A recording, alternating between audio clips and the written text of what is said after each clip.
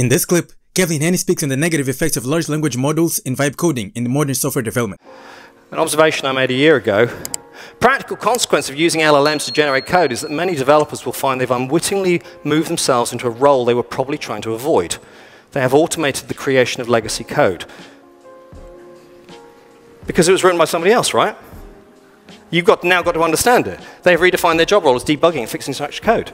We've we may have actually inadvertently outsource the fun.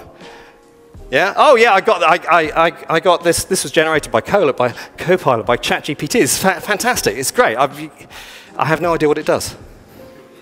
And this is really interesting. I'm not saying that it's all bad.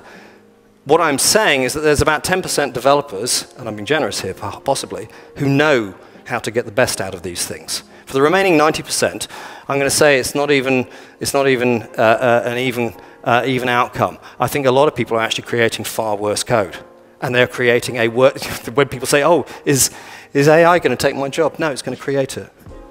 It's going to be that last part. You've got to watch out. You've got to be very careful about just feeling the vibes. With LLMs, what used to be laziness or inability to write good code is turning into something worse the unwillingness to understand the code we generate.